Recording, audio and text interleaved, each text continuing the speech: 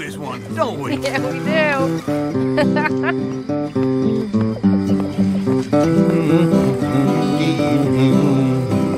Otis Miller was a lad that killed many a man. He robbed the Hatchie train.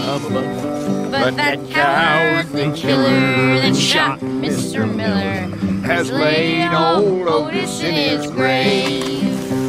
Poor Otis had a wife to mourn for his life.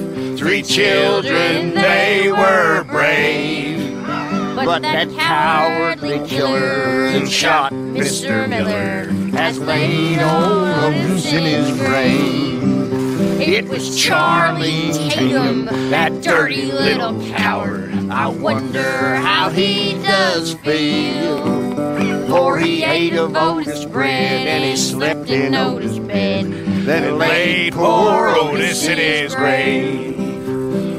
Otis was a man, uh-huh. a friend to the poor. He'd never see a man suffer pain.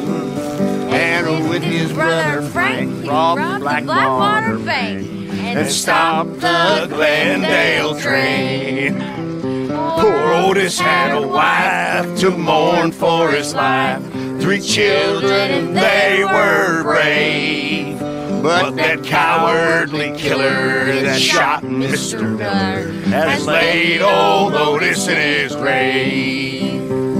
This Saturday night, Otis was at home, a talking with his family brave.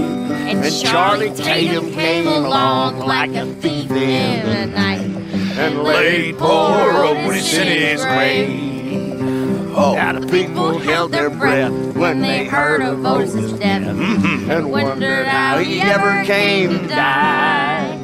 It was one of the gang called Little Charlie Tatum that shot old Otis on the slide. Yeah, poor Otis had a wife to mourn for his life. Three children, they were brave. But that cowardly killer that shot Mr. Miller has laid old Otis in his grave.